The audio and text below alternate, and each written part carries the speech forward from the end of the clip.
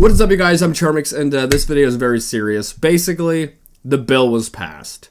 If you guys weren't aware, a senator by the name of Tom Tillis, or Thom Tillis, Thumb Tillis, put through, or was trying to get a, a bill put through into office. The bill is a copyright bill, and it it'd make things really complicated, and like you could face jail time for like copyright stuff. It's pretty crazy.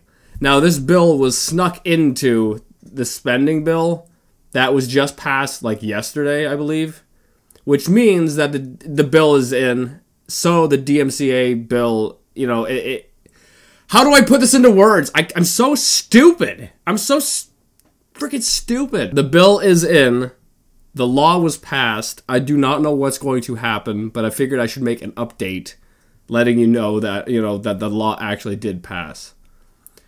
So that's probably going to hinder the internet a lot, I think. I think this bill and the passing of this bill is going to be very big trouble for the internet, especially sites like TikTok. TikTok! I don't know if it's going to survive.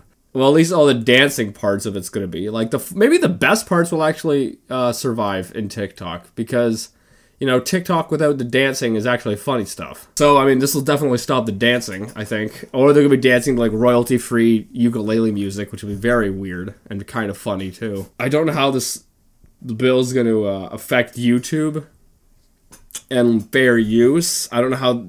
I don't know how it's going to affect anything, so I don't know what to do anymore. I, I, I don't know. I don't know what to do. I don't even know what to say anymore. I'm just going to end the video, I guess. Uh, bye bye.